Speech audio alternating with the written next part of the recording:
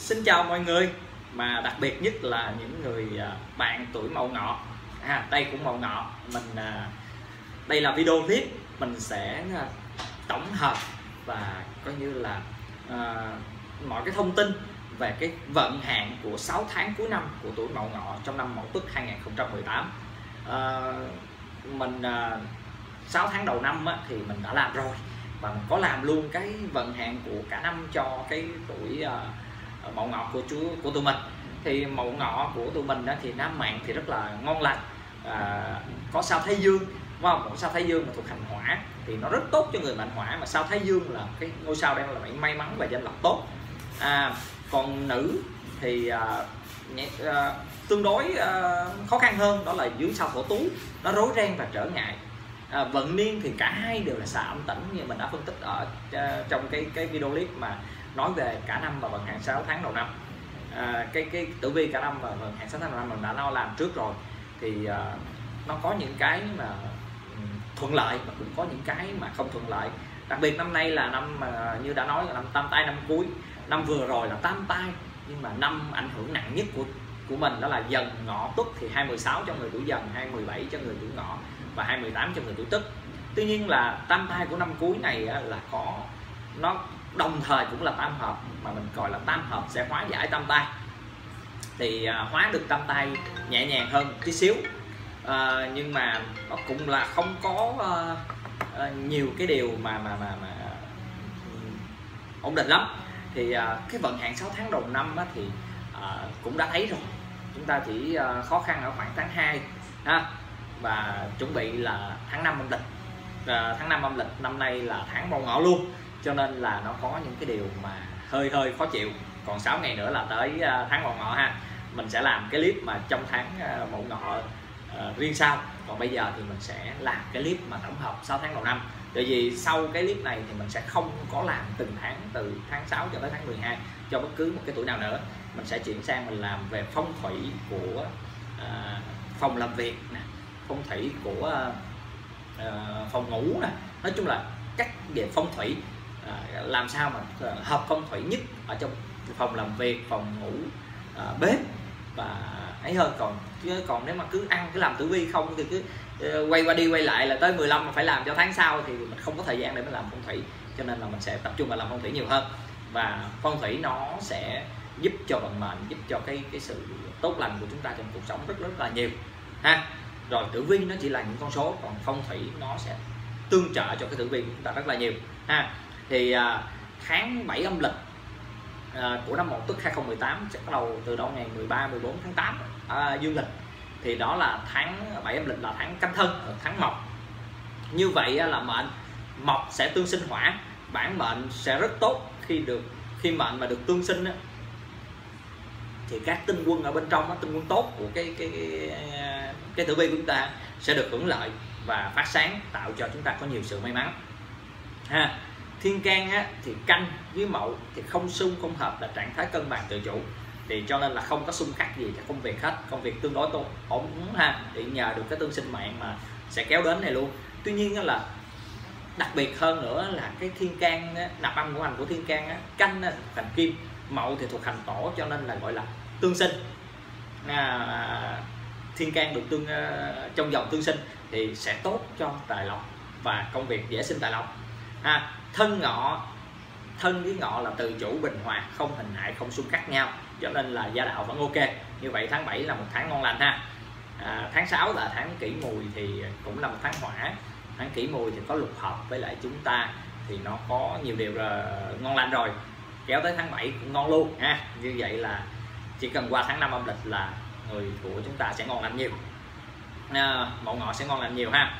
À, tháng 8 là một tháng tân dậu à, tháng này cũng là một tháng mộc. Thì như vậy thì mệnh cũng như trên mộc tương sinh hỏa. Bản mệnh rất tốt. Khi mệnh được tương sinh thì các tinh quân ở ừ, tốt ở trong mệnh của chúng, ờ, tử vi của chúng ta à, trong vòng à, tử vi của năm sẽ làm à, phát sáng và tốt thích đẹp hơn. À, thiên can tân thì cũng thuộc hành kim mà màu thuộc hành thổ. À, mà về mặt tử vi không xung không hợp nhưng mà về mặt à, À, nạp âm ngũ hành thì rõ ràng là được tương sinh, cũng như tốt như là cái à, công việc của à, này kia, tốt đẹp như là cái tháng canh canh thân tháng 7 âm lịch. Tuy nhiên là dậu với ngọ là tí ngọ, mẹo dậu tí ha, dậu với ngọ thì vẫn nằm trong là tứ hành xung. À nhưng mà đều có một cái là dậu với ngọ nó cách xa nhau nhiều quá, cho nên thực chất ra thì nó không có đáng ngại à, như mà những gì mà đã nói. Mà gặp đó là được mệnh tương sinh nữa đúng không? Rồi thiên can thì nạp âm của ngũ hành thiên can được tương sinh nữa thì cái sự khó khăn của cái địa chi dậu ngọ này thì không có quá lớn lao đối với cái tháng này. Như vậy là tháng 6 tháng 7 tháng 8 là ba tháng ngon lành ha. À, đối với à, à, người à, mậu ngọ à, nữ mệnh thì thì thì không ngon lành lắm. Tại vì mà nữ mệnh đó là rơi vào tháng tân dậu thì dụ gì nữa nữa là à, nữ mà thì thường là hướng nội ở trong gia đình mà địa chi thì nó ảnh hưởng cái gia đình nhiều. Dù gì đi nữa thì nó nằm trong tứ hành xung thì nó cũng đem trở lại những cái sự buồn phiền và không tốt đẹp cho cái uh, cái gia đạo. Cho nên là là nữ thì cẩn thận tự vì nữ dưới sao thổ tú ha. Còn nam thì uh, có cái sao uh, thái dương thì không không cần phải bàn cãi đâu ha. Tốt đẹp. À tới uh, tháng 9 âm lịch. À, tháng 9 âm lịch là một tháng thủy. Tháng này là tháng nhâm tuất. À như vậy mệnh là thủy khắc hỏa à, tháng khắc bản mệnh sức khỏe bổn mạng cần cẩn trọng. À tuy nhiên là năm nay là can mậu thuộc dương ngũ hành hợp hỏa. Chúng ta được cả năm tương sinh là mộc bình địa mộc sinh ờ, thiên thường hỏa rồi. Và được năm nay là năm can mậu thuộc dương nên nữa thì rõ ràng là uh, mệnh của chúng ta năm nay khá lớn cho nên là gặp tháng mà tương khắc này thì bổn mạng không quá nguy nan đâu. Thì có suy yếu một tí xíu có thể là bệnh tật hay là kia một chút nhưng mà không quá nguy nan đâu đừng lo lắng. Thiên can á, thì chữ mậu ha tháng này là tháng nhâm mà mậu thì khắc nhâm, à, thiên can khắc tháng công việc dễ sinh rối rắm. À, nhưng mà dù gì đi nữa là chúng ta cũng là khắc nó. Cho nên là có rối rắm có tranh chấp nhưng mà chúng ta cũng vẫn thu vén được. Tuy nhiên đó là tháng này thì bệnh đã tương khắc à, thì các tinh quân tốt nó đã đã bị bị che bờ. Mà thiên can là ảnh hưởng tới công việc mẫu nó khác nhâm này thì dễ dàng công việc nó sẽ có nhiều điều mà không tốt đẹp. Cho nên là cẩn thận đừng có mà ý lại à, à, địa chi á, thì dần ngọ túc là tam hợp à, tháng này tháng túc luôn của năm túc thì gọi là tam hợp tháng và tam hợp năm. Là dấu hiệu của nhiều may mắn không chỉ cho gia đạo mà còn cho cả cái công việc và những cái khác trong cuộc sống. Như vậy tháng 9 à, tuy là một tháng tam hợp nhưng mà có cả mệnh khắc này thiên can khắc cho nên là chỉ bù trừ thôi chứ không thể nào nói là một tháng tốt dù là có tam hợp ha. Nên nhớ là tháng này là tháng thủy và mệnh à, thiên can bị tương khắc cho nên là là các em thì nhất là các em nữ thì đề phòng tháng này vẫn là điều tốt nhất. Các em nam thì cũng đừng ỷ lại cái sao thái dương của mình muốn lướt. Tháng này không nên lướt đâu. Ha có tam hợp. À, sao có tam hợp mà bị gặp nạn rồi này kia. Thì đây là những cái dấu hiệu mà cần à, đó mình có 3 tháng liên tiếp ngon chớn không? Cái tháng thứ tư đẩy cho cố vô thì coi chừng. Cho nên là mình phải biết là tăng ga lúc nào và giảm ga lúc nào nha. Các em các à, các bạn cùng tuổi với mình thì phải cẩn thận điều này ha. Rồi tiếp theo là tháng 10 âm lịch một tháng thủy tiếp theo. Tháng này là tháng quý hợi. À như vậy mệnh thì cũng như tháng 9 là là thủy khắc hỏa tháng khắc bản mệnh sức khỏe bổn mạng cần cẩn trọng. Hai như đã phân tích ở trên. Thiên can á, thì tốt đẹp hơn. Tại sao? Thì chữ mậu nó hợp với chữ quý. Mậu ngọ hợp ha quý. Thiên can thuộc ngũ hợp. Đây là sự hợp đa lệ lệ chủ về chữ lệ. À, công việc rất dễ sinh tài lộc và à, thuận lợi. Trải qua một tháng bị thiên can tương khắc thì tháng này chúng ta được thiên can tương hợp một ngũ hợp. Mà thiên can ngũ hợp thì rất dễ sinh tài lộc và công việc ổn định. À, cái tháng nó khắc bản mệnh đi nữa thì thủy khắc hỏa đó thì như đã phân tích ở trên nó cũng có đem lại rắc rối. Tuy nhiên là công việc không phải là vấn đề. Ha tháng này địa chi hợi ngọ không xung không hợp là trạng thái cân bằng tự chủ. Cho nên có thể nói là gia đạo không có việc gì có thể là trải qua một cái xung sẻ. Có tam hợp ở trên ha xuống dưới này thì nó cũng phải đều đều một tí xíu chứ chẳng lẽ vừa lên tam hợp xong xuống gây gỗ liền. Thì uh, không đến nỗi nào. Mậu ngọ là một những người ờ, nam mạng hay nữ mạng thì là những người cũng khá nhiều về chăm lo cho gia đình. Ha cho nên là không đến nỗi nào. Các ờ, các bạn cố lên ha. Tháng tháng này có mệnh tương khắc thì hai tháng mà bị mệnh tháng tương khắc mệnh thì cần cẩn trọng về sức khỏe dù rằng là tháng này dù là năm nay năm có hỏa vượng đi nữa thì nó gặp thủy hỏa cỡ nào gặp thủy thì cũng chết. Nhưng mà chết ở giai đoạn nào chết ở như thế nào ha? Rồi đến uh, tháng 11 à, âm lịch. Tháng này có thể nói là tháng xấu nhất của người à, mẫu ngọ trong à, cái năm mậu tuất 2018 bởi lý do tại sao? Ừ, à, mệnh nếu mà xét về mệnh tháng giáp tý là một tháng kim. Chúng ta mệnh hỏa hỏa khắc kim bổn mạng tương khắc tháng đề phòng tai nạn. Ha nhẹ. À, tuy rằng là chúng ta khắc nó nhưng mà cái tai nạn không biết nói trước được. Ha. à, có thể nhẹ có thể nặng không biết tùy là phước đức của mỗi người. Ha có thể có người chả gặp đâu. À, thì là cái phước mình có thì mình vượt qua được còn phước không có thì chịu thôi. Thiên can cái chữ giáp của giáp tý nó khắc chữ mậu à tháng khắc thiên can, không tốt cho công việc. Ha, dễ gây chống phá và bế tắc, rơi vào bế tắc của công việc. Thì sao?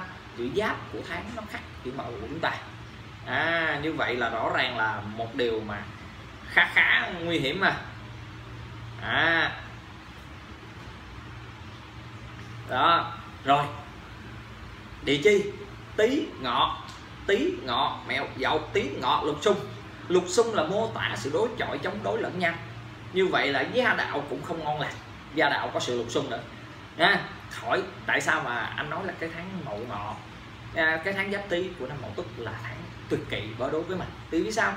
Mệnh khắc thiên can khắc địa chi lục xung thì hỏi làm sao mà có sự may mắn?